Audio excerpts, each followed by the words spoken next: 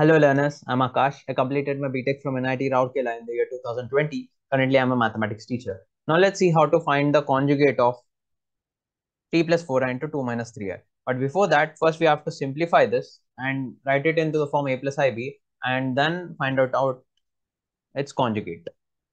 Okay. Now, basic uh, basic multiplication, basic expansion. This can be written as 3 into second bracket plus 4i into second bracket. Okay, 3 into second bracket plus 4i into second bracket. 3 2s are 6. 3 into minus 3 is minus 9i. And 4i into 2 is 8i. 4i into minus 3. 4 into minus 3 is minus 12 and i into i is i square. Clear? Next. This is minus 9i plus 8i. This should be nothing but minus i. Minus 9 plus 8 is minus 1. So basically you have minus i. 6 minus i. Minus 12 into i square is minus i square is minus 1. Now, this would be nothing but 6 minus i plus 12. 6 plus 12 is 18. This is nothing but 18 minus i. Now, the conjugate of a plus ib is a minus ib. Okay, in simple terms, okay, what if you got 18 minus i, right? The conjugate of 18 minus i is 18 plus i. That's it. Very simple. Okay.